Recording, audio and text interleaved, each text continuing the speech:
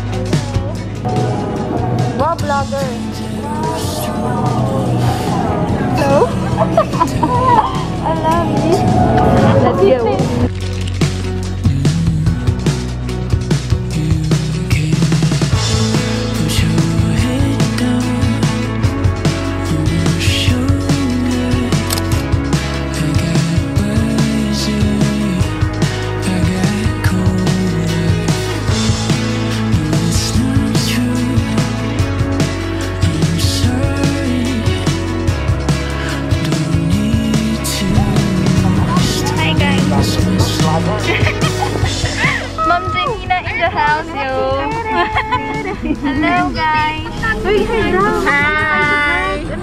Hi vlog!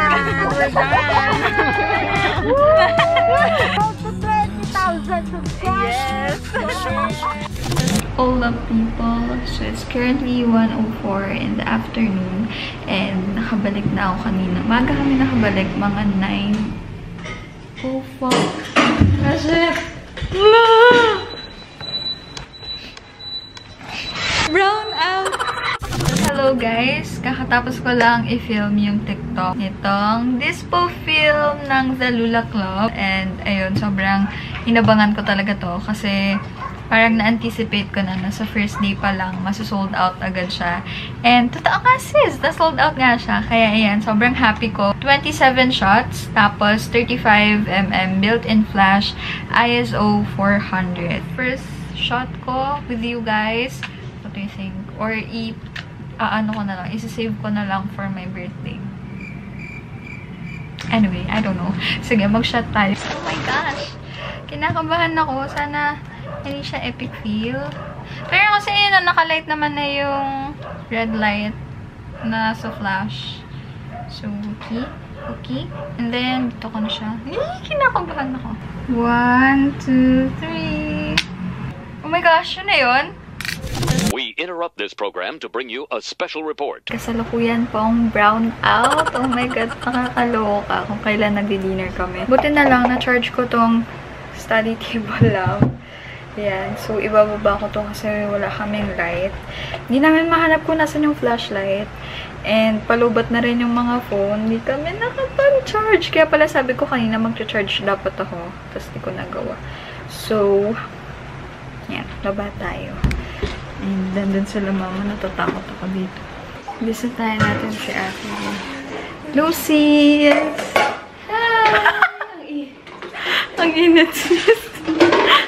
Gusto mo yata amoy yung pet ko. Gusto niya bumalik. Wala lang akong space, niya ko bumalik. Gusto niya kukuha. Makinig ka sa mama. Mama knows best.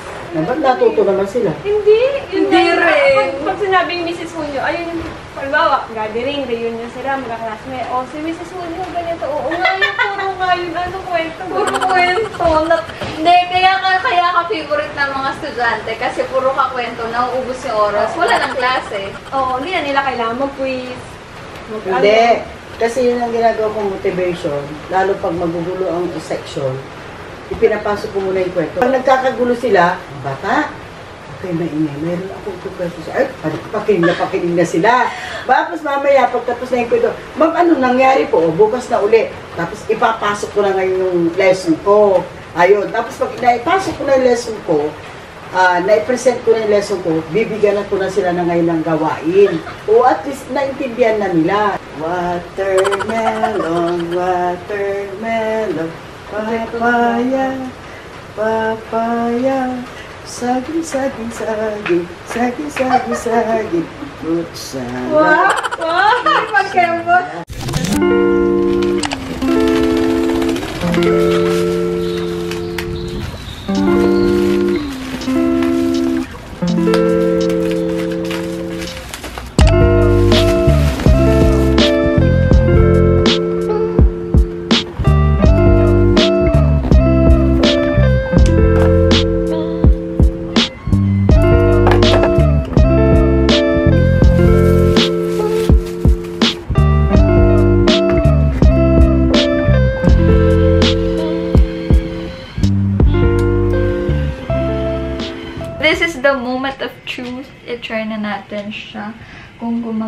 Siya.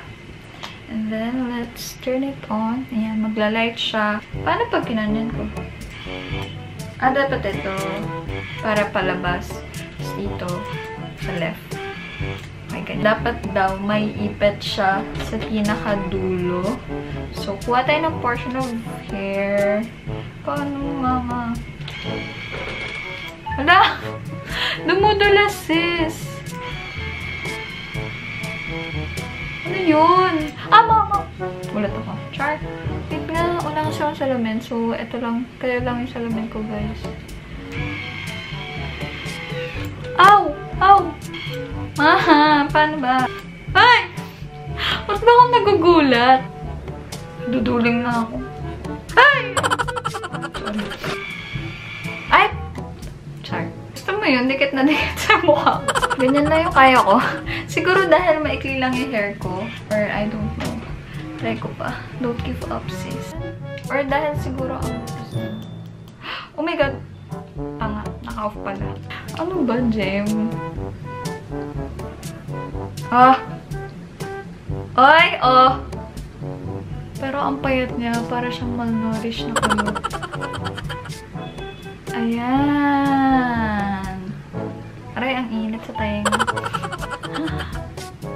Siya masyadong kita kasi humalo siya. Pero, ganyan siya. Nice na. Ganyan. Kita nyo ba, guys? Ayan. Yay! So, ayan na siya. Actually, may mga natira pa, pero tinamad na ako. So, dito lang naman sa harap yung gusto kong mag-curl. And pwede mo siyang i-finger comb para kunyari beach waves. Beach yarn. Ayan. Diba? Kakauwi ko lang from work and medyo nag-overtime ako. Wow, si pag-yarn. May pag-overtime. And it's currently, ano na, 5.41. Tapos, June 5 ngayon and nag-upload din kasi ako ng vlog. Ay, hindi pala. Shopee haul video. And sana napanood nyo na by the time I upload this vlog. And ngayon kukunin ko yung Shopee package sa baba. Cake siya tapos ini-smash. And gusto ko siyang iakyat na lang dito para kahit pa paano maluwanag. Kasi madilim sa baba kung doon akong magvi-video. So, kunin lang natin sa baba and then dito natin siya smash together. Ito yung Shopee package. Kala mo cake lang na pinadala sa akin. Kasi, guys, malapit akong birthday. Charot. Pero ayan siya, pag inopen mo, there, o oh, diba, sobrang cute. Tapos, meron siyang ganito. I forgot ko anong tawag dyan. Tapos, isa-smash mo siya. Yan, nakalagay. Smash me.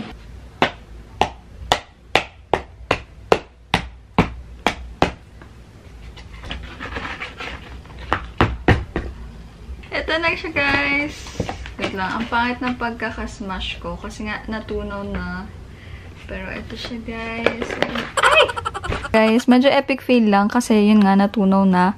Pero we have here, I think, cupcakes ba to?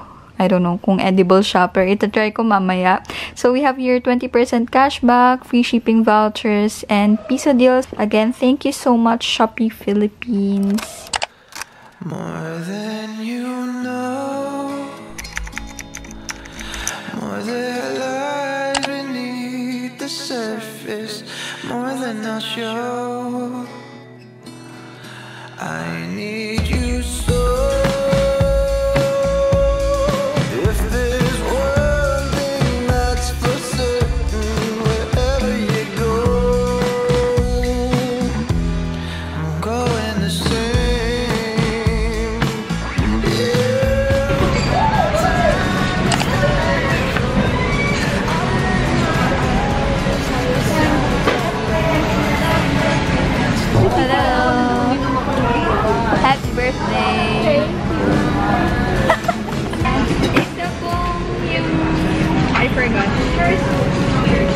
po, yung grilled, yung Hokkaido style. Pwede po ba yung palagyan ng egg? Or, additional po sila, ma'am. pwede po. Yes, ma'am. Kami side up po. Yes po. Ako kasi pwede ko namang dalhin sa hospital. Pag ganun, ganun. Ah, gagan-gagan. Pa, eh, Wow, which is which? Alam, may tumawag. Yay! Thank you so much. That's mine. That's mine. Yay! Ano po yan? Parang same lang pala order natin. Here, California roll. Everyone is watching, but I still feel so alone, alone,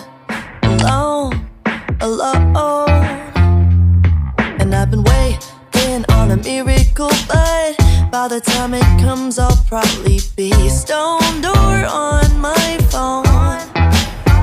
Oh no, now I'm sure that you have got the perfect positive quote to say, but I don't want your optimism today. I just wanna complain. It takes a whole damn hour to afford two gallons, and I'm not doing enough. Another day, another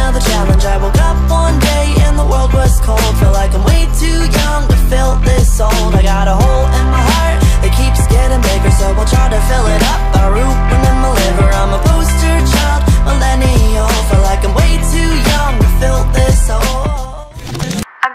out to Skillshare for sponsoring this video. I've been joining Skillshare classes for months and I'm happy because I was able to expand my knowledge in different aspects since they provide a variety of topics such as creative writing, photography, design, marketing, and more. One of the classes I recently attended to was Emma Gannon's class entitled Discovering Success 7 Exercises to Uncover Your Purpose, passion, and path. It's about an hour long with no ads interrupting, and she was able to expound the elements to succeed in life. You can also access this platform for less than $10 a month with annual subscription, or the first 1,000 of my subscribers can have their free trial of premium membership by clicking the link in the description box below. Again, thank you so much Skillshare for sponsoring this video. Oh, oh, oh, oh, oh, yeah.